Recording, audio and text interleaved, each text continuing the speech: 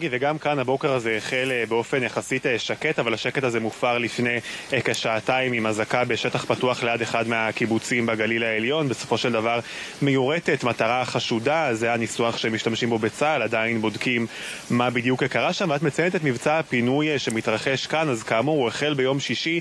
לא מעט קשיים עברו על התושבים שהיו מעוניינים להתפנות, לא מעט עניינים לוגיסטיים וגם עניינים של תאום בין הרשויות השונות.